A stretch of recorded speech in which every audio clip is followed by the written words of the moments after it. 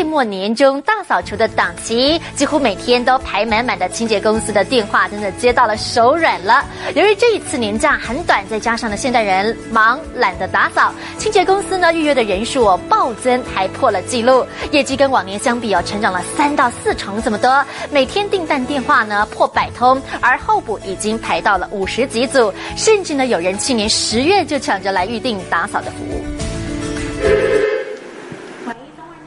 通接着一通，清洁公司人员电话接到手软。农历新年将近，清洁公司忙翻天，每天都有客户预约年前大扫除。桌上订单满满满，过年档期从去年就开始抢订，预约晚了，农历年想请人帮忙，很抱歉，有钱也没花兜。今年的过年比较早，所以今年会发现说，哎，到十一月、十二月份，然后特别在十二月初的话，几乎都已经是暴增了。那呃，现在目前到目前为止，都已经排到五十组、五十几组的候补的阶段了。林姐，林姐，不好意思，现在有一个滨州路的案子比较紧急，那是不是可以快速？清洁人员几乎片刻不得闲，行程排满满。医院每天至少跑三四十场，业绩比往年暴增三到四成，光一天订单电话就破百通，打破历史记录。等我们有空了，想要要找清洁公司的时候，就已经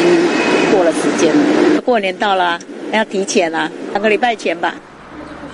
要抢清洁公司帮你打点，今年比预约年菜还热门。往年候补人数顶多二十几组，今年双倍成长，已经排到五十二组。有人去年十月就抢先预约，强攻居家清洁四百亿元商机，清洁公司到宅服务夯，想要预约手脚还得快，破纪录的清洁服务，凸显现代人工作忙，花钱代劳正行。记者吴嘉文、胡伟婷台北采访报道。